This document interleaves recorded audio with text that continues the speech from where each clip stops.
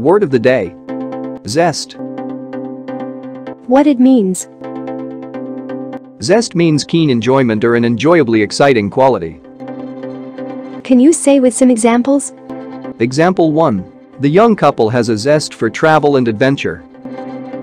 Example 2. It has always seemed bizarre to me to start talking about the coming winter in August. But this is Jackson Hole, and the zest for snow never seems to end. Did you know?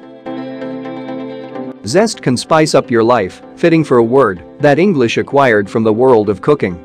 Zest comes from French zeste, the name for orange or lemon peel used to flavor food or drinks. English speakers adopted the French meaning and developed an additional one referring to any quality that adds enjoyment to something in the same way that the zest of an orange or lemon adds flavor to food. Well, that's all we have for you today. Thanks for watching.